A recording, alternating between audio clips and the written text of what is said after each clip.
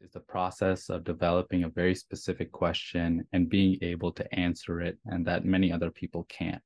Um, in my head, I see the process of research as an upside down pyramid. You have a very broad question that you start with, and over time, as you read literature and collect your own data, you're able to develop a very specific question. So, for example, in what I do, I was interested in understanding why some patients with breast cancer don't respond well to radiation therapy. And by reading the literature and collecting my own data, I've been able to narrow down that question into why does this specific protein induce radioresistance in breast cancer?